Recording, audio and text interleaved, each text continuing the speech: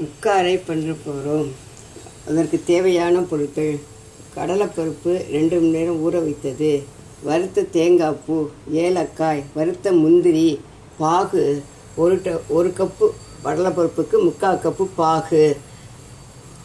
இந்த பா கடலைப்பருப்பை ரெண்டு மணி நேரம் ஊற வைத்து மிக்சியில் நைஸாக அரைத்து கொள்ளவும். அரைத்து கொண்ட மாவு அரை இந்த பதத்திற்கு மாவை அரைத்து இட்லி தட்டில் சின்ன சின்ன வடைகளாக தட்டி வேக விடவும்.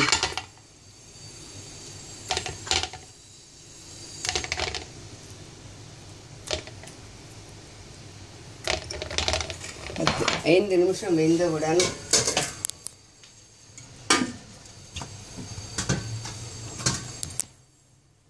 அதை எடுத்து இந்த பதத்திற்கு வந்தவுடன் அதை எது எடுத்து உதிர்த்து கொள்ளவும்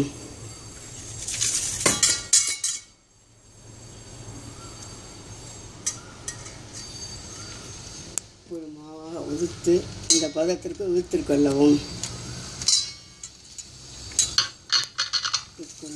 பாகை.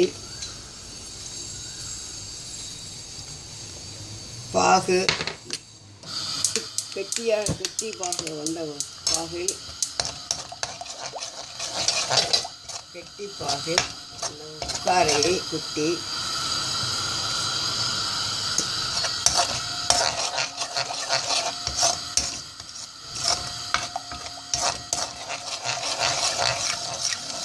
முன்னாடியே நம்ம பாகை கொஞ்சம் காய்ச்சி வச்சுருந்ததுனால ஒரு சூடு போட்டு ஒரு நேரம் பாகை அடுப்பில் வைத்து எடுத்து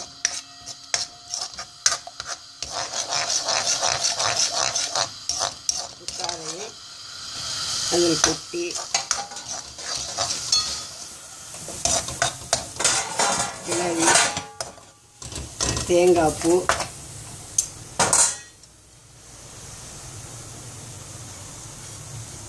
ஏலக்காய் முந்திரி எல்லாம்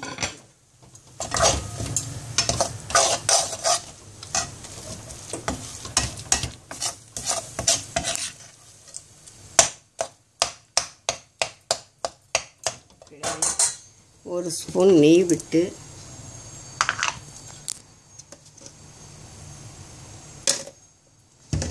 இறக்கி ஆற விட்டு உதிர் உதிராக காயிடும்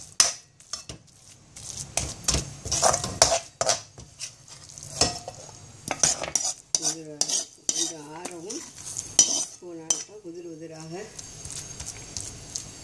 ஆயிடும். சிவகங்கை ராமநாதபுரத்தில் இப்போ இது அந்த திதிப்பு ரொம்ப முக்கியம்.